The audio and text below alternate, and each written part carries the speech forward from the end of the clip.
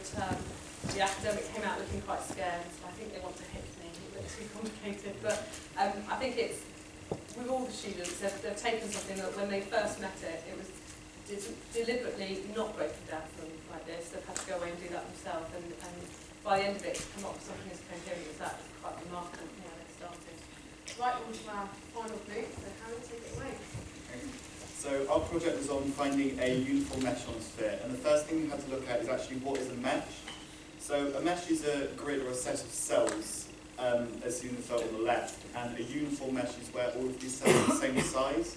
So not only is the mesh on the left uh, a mesh, but it's also uniform. And we do actually have a method doing this at the moment, it's called the longitudinal latitudinal system.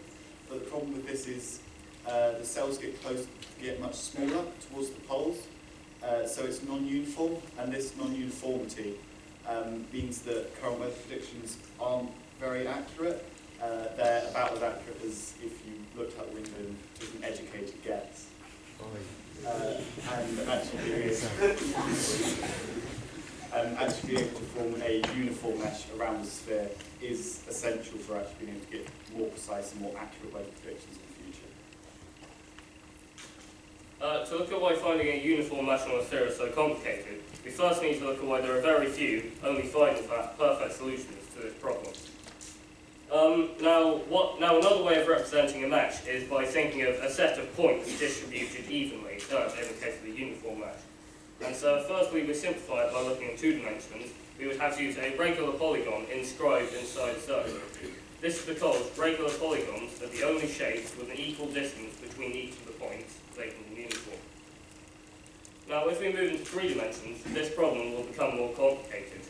Because all the points must be the same distance apart in order to be perfectly uniform, which is what we want, by the same logic, the 3D shape must be made up of a combination of one of the same regular polygon, and also this shape must be convex, with no holes or indents in order to properly represent a sphere. Um, and mathematically, what this means is the sum of the interior angles of the faces that meet any vertex must be less than 360, which is clearly seen if you look at the net or the flattened versions of 3D shapes. Um, and, it, and if the angles were to add up to 360, as you can see, the shape would flatten out um, as, it, as, there is, as it could not fold into a 3D shape. And if the angles added, added up to more than 360, the shape would uh, go on on itself and become concave. And there are only five combinations of regular polygons which will allow for um, interior angles to add up to less than 360 degrees. Now, constructing these 3D shapes, we create what's known as the Platonic solids, uh, named after Plato, discovered in 360 BC. Uh, these are the only five ways of perfectly distributing points on a sphere, and due to the small number of faces, they have little use in any, in any of the fields where a uniform mesh is actually needed.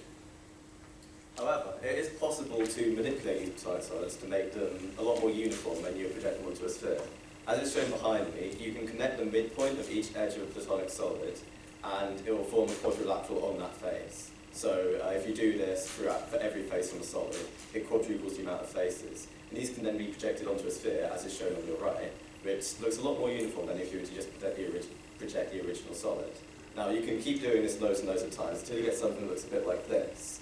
Now this suddenly looks a lot more uniform. Now I've shown two of the platonic solids that David mentioned here, the cube and the icosahedron. Uh, as, is as is shown on the slightly less colourful version of the cube, can still actually see the original edges of the cube if you look closely, which means the icosahedron is a lot more uniform and therefore part of what we're trying to do. Another way of finding a higher definition mesh is if we consider the Thomson problem. And the first thing we need to look at with the Thomson problem is the idea of electrostatic potential energy. And that is the idea that one charge will, is the potential that one charge will exert a force upon another. So this can be considered and modelled with uh, magnets.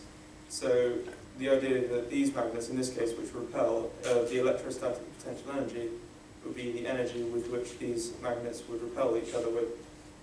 And if we distribute these around the sphere with the least, so they act the least on each other and therefore stay in the same positions, then that's the idea of the Thomson problem. So if we just replace them with electrons, and this is what the actual Thomson problem is, which is how to distribute n electrons around the sphere with the least electrostatic potential energy. And then if we take every point, every electron here, and we join them up as so they're vertices of faces on a mesh, then we can create fairly uniform meshes. And the larger the amount of electrons we have on there, then the more complicated and the high definition the actual mesh gets.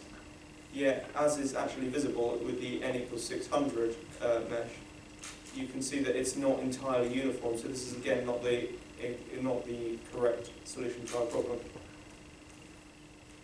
Now, a Voronoi diagram is another way of creating a mesh, and it's less uniform than what we've seen so far, but it's very good for real-life applications where you've got certain sites that restrict how uniform your mesh can be. So it makes it so that each cell contains one site, and any location within each cell is closer to that cell's site than any other. For example, the sites could be hospitals, and these people could want to know which hospital is closest to them.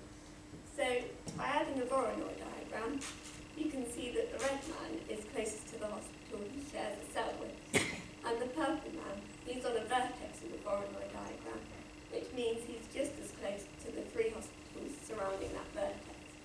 Now, this is the simplest use of Voronoi diagrams, but the most practical for us wanting it to mesh on a sphere would be in predicting an unknown value at a location such as where the red man is, using known values at the sites.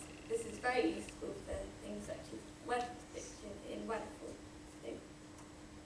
So, a Delaunay triangulation is the dual of the Voronoi diagram and can be created simply by connecting up adjacent sites on the Voronoi diagram to form triangles. And each of these can be simply applied to a sphere by making the straight line segments of a great circle, which is the circle you create when you cut a sphere in half. So, although these aren't the most uniform meshes, they are very good for if you've got certain things which you are likely to have that restrict how uniform your mesh can be. Now, something that connects all of these is Euler's formula. Now, I've been beaten to the punch a little bit when talking about Euler, but he was an important mathematician and physicist who lived in the 18th century, who was vital in the development of geometry, especially topology. Now, his formula that applies to our project is on the screen behind me. f plus v is equal to e plus 2, where f is faces, v is vertices, and e is edges on a 3D shape. And this formula describes the relationship between these three on 3D shapes only. This relationship was originally described by René Descartes in the early 1600s before it was refined and proven by Euler, who published his findings in 1750. This was an extremely important discovery because it allows us to understand the structure and behaviour of DNA, which obviously helps us advance medicine, and also because it develops the field of topology, which is a part of maths where the properties of space are preserved. So you can squish and bend shapes as much as you like, but you can't cut or glue any of them. And this relates back to how meshes can be projected onto a sphere. Now there are several proofs of Euler's formula that are fairly long-winded, so I'm not going to go into them. But the one that Euler used was to break a 3D shape into its net and to triangulate the faces to show that his formula applies to them no matter how much you triangulate and how you treat it. Triangulation is essentially breaking a shape down into the triangles that it's made up of. Now, Proved that his formula is true for any 3D shape, which means that includes the platonic solids. And if it's true for the platonic solids, it must be true for any subdivision of them into a higher resolution mesh. And because of topology, what applies to the meshes in their platonic solid form can apply to the meshes on a sphere as well. So, to sum up, we now know that a good uniform mesh has been projected on a sphere to predict weather, has to have these qualities. Has to have edge length and cell area, which are pretty self-explanatory. They have to be equal in order for it to be uniform. But they also give us a way of quantifying how we partition the sphere's surface, and therefore they give us measurements that we can work from. Nearest neighbour is what um, Tilly touched on. It's the idea that uh, a place in a cell can be, its weather can be predicted based on the cell it's in. But it can also, its weather can be predicted based on the cells near it, its neighbours. Um, so we've got lots of methods. We've got David and Patrick's platonic solids, Mike's Thomson problem, Tilly's Delaunay and Voronoi diagrams, and Embler's use of the Euler's formula. And uh, well, I've waffled on, so you're probably wondering, what is the best solution? What's the answer? Well, um, there isn't one. as far as we're concerned, we couldn't find one that ticked every box. The methods either they sacrificed uniformity, i.e. accuracy, for um, practicality, or vice versa. Right, well, I'll uh, leave you with a joke. knock knock. Who's there? Don't mesh. Don't mesh who? Don't mesh with us.